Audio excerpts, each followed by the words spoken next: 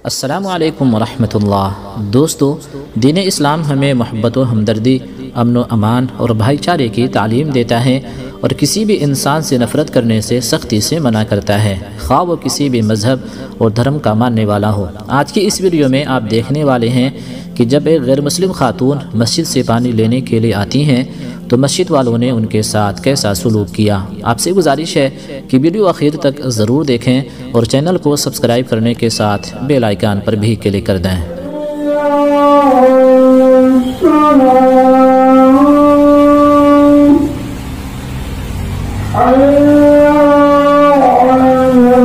हम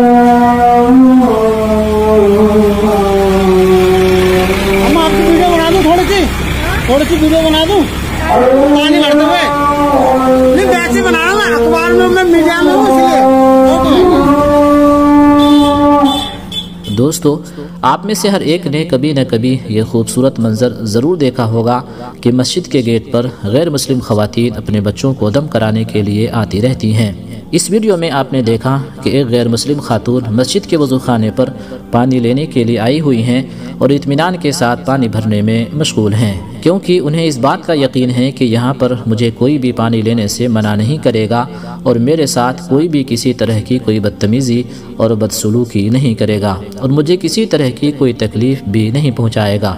क्योंकि दोस्तों, दीन इस्लाम सरासर अमन सलामती का दीन है और हर एक के साथ अमन आफ़ियत से रहने की तलकीन करता है। यहाँ तक कि गैर मुस्लिमों के बारे में भी यह हुक्म देता है कि उनके साथ भी अच्छे अखलाक से पेश आया जाए। एक हदीस में अल्लाह के नबी सल्लल्लाहु अलैहि वसल्लम का पाक इरशाद है कि उस शख्स का इस्लाम सबसे बेहतर है जिसकी ज़ुबान और हाथ से तमाम लोग महफूज रहें। दोस्तों, इस वीडियो के ताल्लुक से आप क्या राय रखते हैं, हमें कमेंट करके ज़रूर बताएँ।